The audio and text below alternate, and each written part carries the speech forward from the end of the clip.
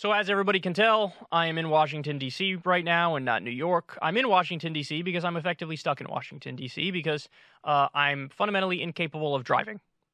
Now, the reason for that is I, um, at best, I tore a muscle in my uh, in my calf, and I can't really walk on my own. So I got these bad boys here. This is one crutch. I have two crutches here, and um, I'm hobbling around all over the place.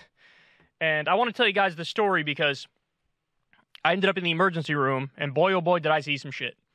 And it really just highlights the horror of our healthcare system. Now, don't get it twisted. Uh, you know, I'm the one who constantly talks about the data and the evidence and, you know, the information about how our system is broken. So I'm, you know, I'm I'm the number one proponent of giving people the details of it from a macro perspective, not a micro perspective, not the anecdotes. But since I now have an anecdote, I may as well share it because the firsthand experience was obviously very eye opening in a way that really brings to fruition and to light what those numbers actually mean.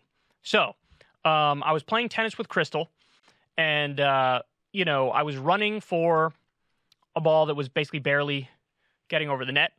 And it felt like somebody took a bat and just whacked the back of my calf pretty hard. Like a bat hit me in the back of the leg.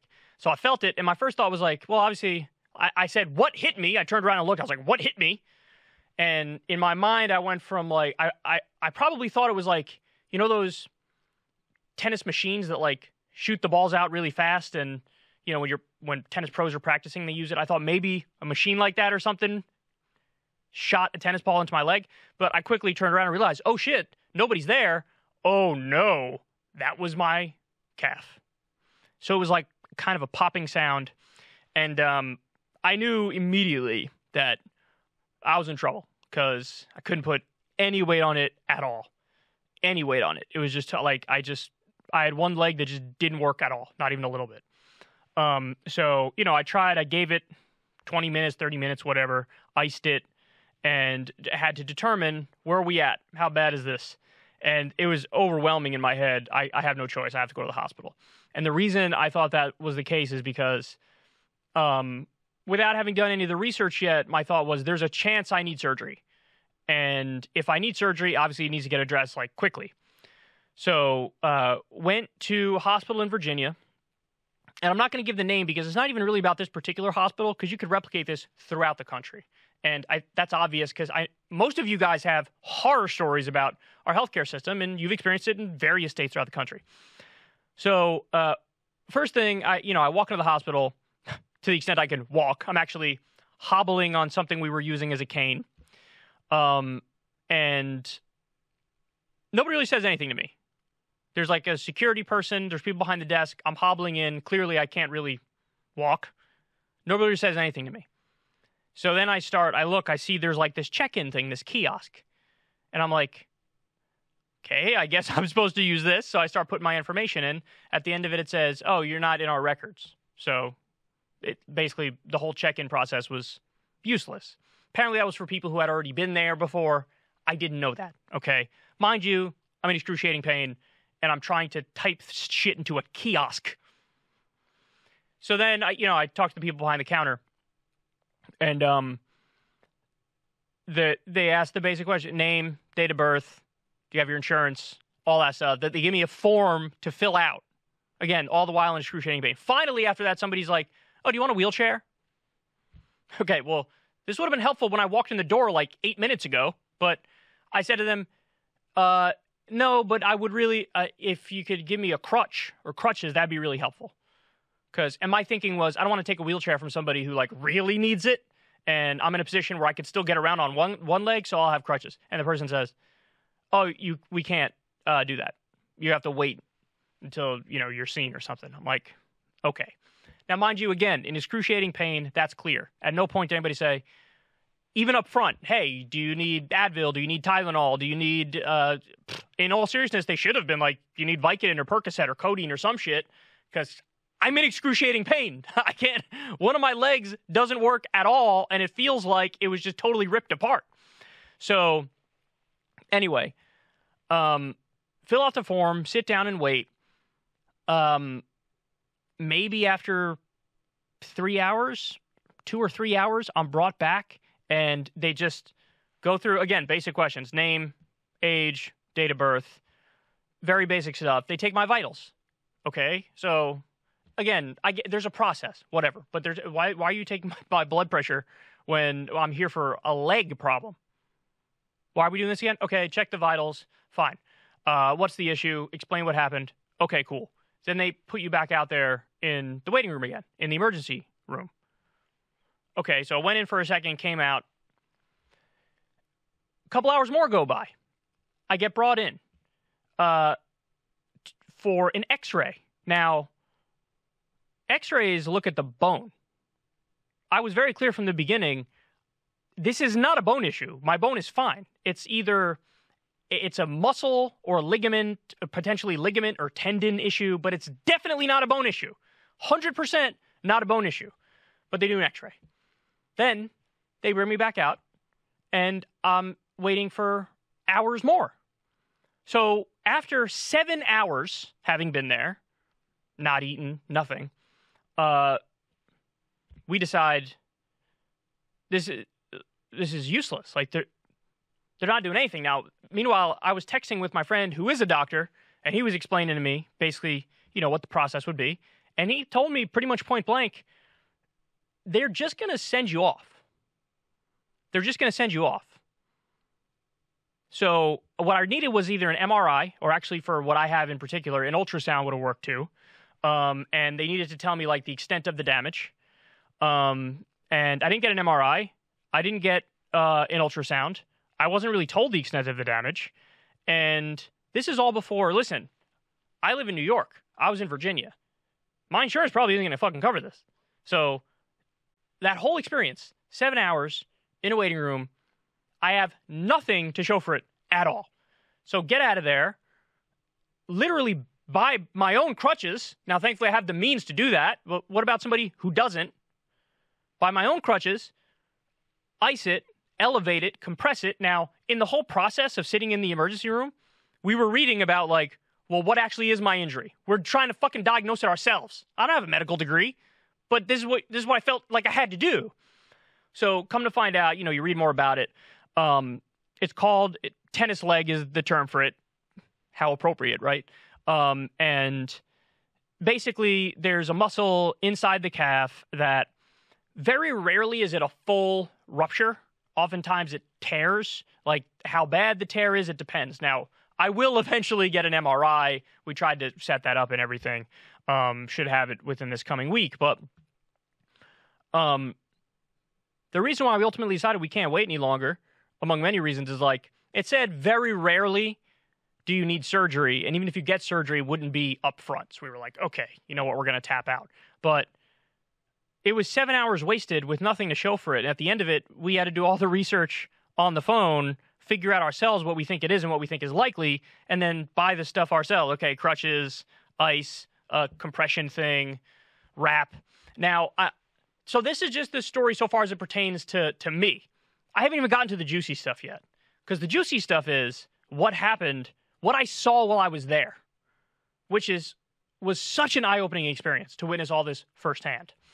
So I'll give you a few examples. So uh, I'm in the process of waiting and nothing happening because nothing happened the entire time that was actually serious in a helpful way. Um, somebody comes in. It's uh, I would say she was about maybe 10 years old, 11 years old, 11 year old girl.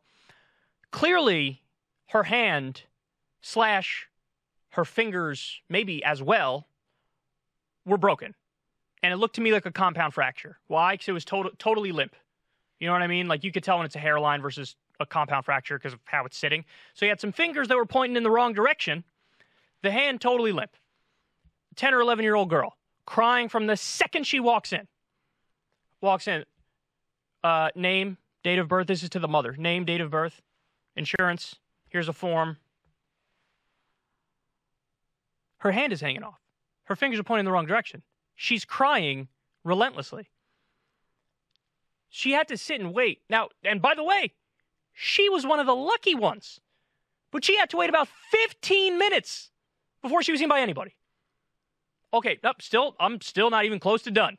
Oh, they, there's some incredible stories. Another one. So somebody gets wheeled out from behind the. So they were in a, a place in the emergency room, in a room, getting some sort of treatment. They get wheeled out. Dude very clearly just had blunt force trauma, maybe a car accident or something, had scars all around his head, blood on his clothes. He was stitched up. Dude is maybe 35% conscious, probably had a severe concussion, given the looks of it, what happened. And um, they just wheel him out from behind, park him in the waiting room, and let him know, like, hey, dude, bathroom's over there. And then they walk in and leave him there. And he was sitting there for like two hours, totally unattended to, semi conscious, just got surgery, was all stitched up, blood everywhere, and alone. Alone. I got more. Another dude gets wheeled out. He was in a room, had, had just gotten some sort of, uh, you know, help. Come, they wheel him out, probably 45, 50 year old guy, uh, shaking relentlessly, right? Holding one of the throw up bags with throw up in it that you could see. Um, seemed like almost incapable of talking. Wheeled out, parked him in the emergency room, eh, waiting room, didn't say a word to him, walked away. He was left there for hours. Okay. Okay. Still haven't gotten to the most insane part. Some people were there from when I walked in till when I left. Now remember, I didn't get anything that was really helpful, but they did take an X-ray, even though it was useless and I needed an MRI or, or um, an ultrasound. There were some people who were sitting there, didn't get help the entire time, and they were just sitting there. Okay. The most concerning one dude walks in with either his dad or his grandfather, and the guy's holding, uh, you know, one of the throw up bins, and he's shaking. And guy brings him in. First words out of his mouth, he can't breathe. I don't know whether it was dad or, or his grandfather, but he's like, he can't breathe. He can't breathe. He's holding this thing, shaking, and he clearly is struggling to breathe. Um, name and uh, date of birth. Um, here's here's a form to fill out. Have you been here before? He can't breathe. They just just process here. They and when he like, hey, he can't breathe. They were like, we we know, sir. I don't know if you guys hear that. There was like a doorbell or something. Anyway, he was like, we know, sir, and they made him sit down for like ten or fifteen minutes. It took a third time for dude to go up to say, he cannot breathe. For them to be like, oh, oh, okay, let's let me, and then you know finally, the dude got help. Now, listen, I don't want to, like, I'm not putting it all on the individuals who were involved in this because the fact of the matter is, probably because of COVID, they're totally stretched thin. The doctors are working, you know, way too many hours. Everybody's tired. Everybody's maxed out. There's just no beds left in the hospital. Like, I get it. There's all these problems, but here's my wacky solution fix it. Like, nobody's even fucking talking about this shit in any serious way. In any serious way. I haven't heard a politician, business person, anything. I haven't heard anybody say, you know what, we should probably increase the number of hospitals in this country by 40%, which probably is the minimum of what is needed. Uh, we're going to crusade to increase the number of doctors in this country by 50%. I haven't heard anybody say anything like that at all. At all. No business person talks about it because why would they talk? They're printing money at these shitty facilities that already exist if it's a private hospital, right? So they're making a shitload of money and they don't care that the service is terrible. No politician is talking about it because we don't even have single payer healthcare in this country, even though we should. So here you have, like, I'm sitting there thinking, this is not like I'm in an industrialized country. This is not like I'm in a developed country. You had the entire room full of people. And by the way, there were a number of people who walked in where I'm looking at them like, if they call my name, I almost want to be like, help this person first because they got it way worse than I do, even though I can't fucking walk and one of my legs don't work. That's how bad it was.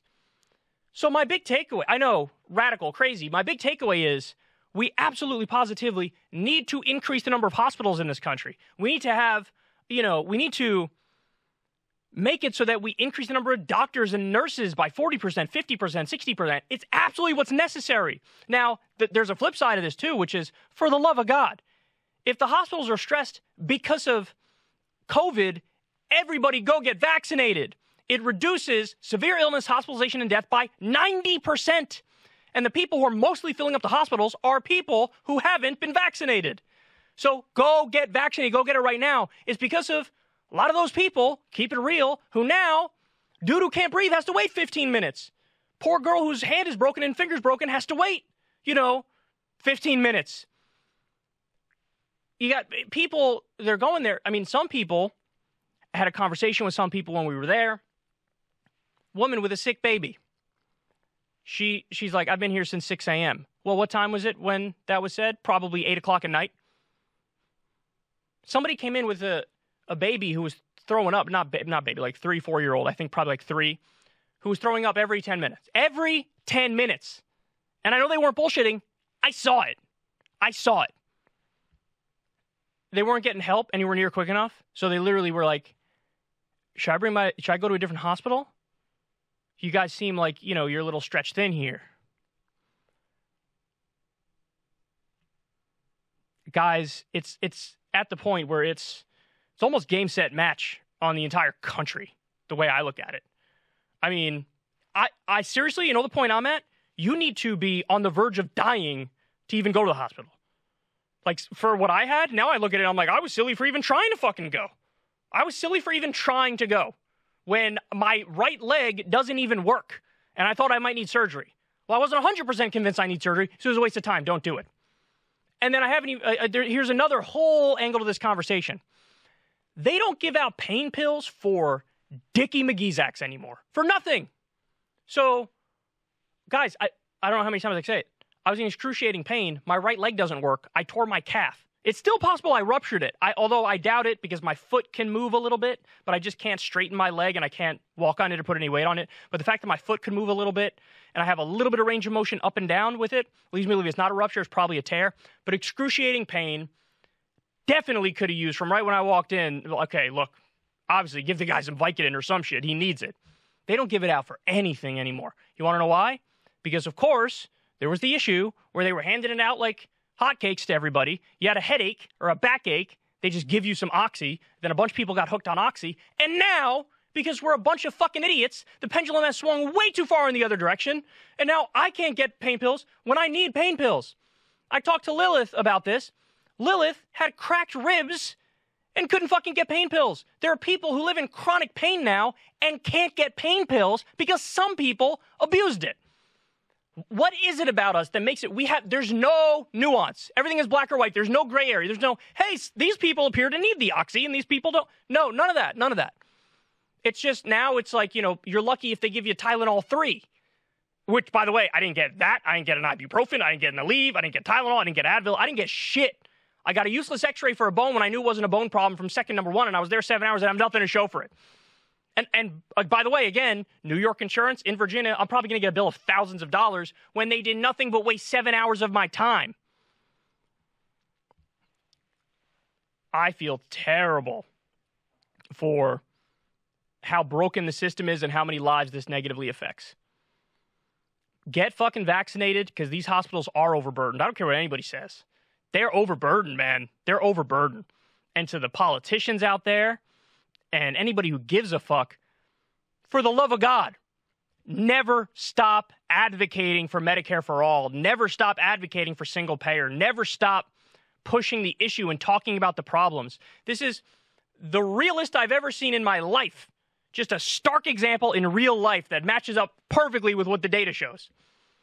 And that shit was fucking eye opening. Again, I've always told you guys about the data. I'm on top of that like nobody's business. But having the firsthand experience and witnessing just how bad it was, the way that process is put above everything else, you know, there's no humanity. There's no communication either. There's there's an idea. How about every hospital has to have a communicator who can really clearly explain to everybody what's going on, how it's going to unfold? There was none of that. There was it was just a bunch of miserable people in extreme pain not getting taken care of adequately at all. At all. Eye opening experience. We need Medicare for all. We need it now. For the love of God, go get vaccinated because these hospitals are overburdened. And every, just advocate for Medicare for all. We need Medicare for all. We need to increase the number of hospitals by 40%, 50%. Same with the number of doctors, same with the number of nurses because we are nowhere near an adequate system. And by, for everybody who brings, oh my God, the wait time in Canada or, or the single payer, it's always the single payer countries have wait times. Did you know that? You know the average wait time in a hospital in the U.S. is an emergency room in the U.S. over four hours. Four hours. And by the way, you'll go bankrupt too in the U.S. Medical bills are the top cause of bankruptcy in this country. I don't know how long the wait lines are there, but I know they, number one, prioritize by need, and number two, you're not going to go bankrupt if you have a medical issue there. Anyway, you could tell this fired me up. Um, the show will continue to be in DC instead of New York for an extended period of time now because I'm stuck in DC. I can't drive. I can't walk. I can't play tennis. I can't play golf. I can't play soccer. Uh, so I'm I'm in DC now, and I'll remain in DC for an extended period of time. The show schedule will continue to be a little bit wacky, and it'll change a little bit from time to time because, um, you know, I just can't be on the same schedule. But we'll continue pumping out the same amount of content, and I'm just hoping that this thing heals itself, or that I'll get some real answers uh, very shortly about what the proper course and treatment is moving on. But anyway, there you have it. That was my nightmare story, and man, was it an experience.